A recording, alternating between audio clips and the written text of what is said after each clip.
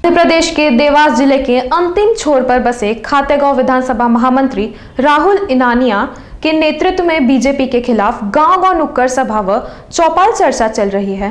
Khategaon block, Hargaon block, Ajnas block में राहुल इनानिया ग्रामीण क्षेत्र में पहुंचकर नुक्कड़ सभा और चौपाल चर्चा में भाजपा सरकार पर जमकर बरस रहे हैं और सरकार की नीतियों के विरोध में लोगों को जागरूक कर रहे हैं। क्षेत्र में युवक कांग्रेस के राहुल इनानिया की ये नुक्कड़ सभा, चौपाल चर्चा, इन दिनों चर्चाओं में बनी हुई है।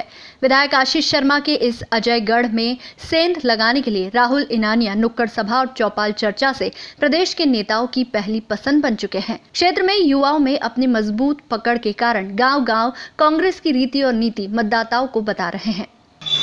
यूथ कांग्रेस के नेतृत्व में गांव-गांव नुक्कड़ सभा, चौपाल चर्चा के माध्यम से जो भारतीय जनता पार्टी की सरकार ने वादा खिलाफी मध्य प्रदेश के किसानों और युवाओं के साथ में किए उसके विरोध में हम गांव-गांव नुक्कड़ सभा चौपाल चर्चा कर रहे हैं। दोपहर न्यूज़ के लिए खातेगांव से प्रदीप साहू की रिपोर्ट।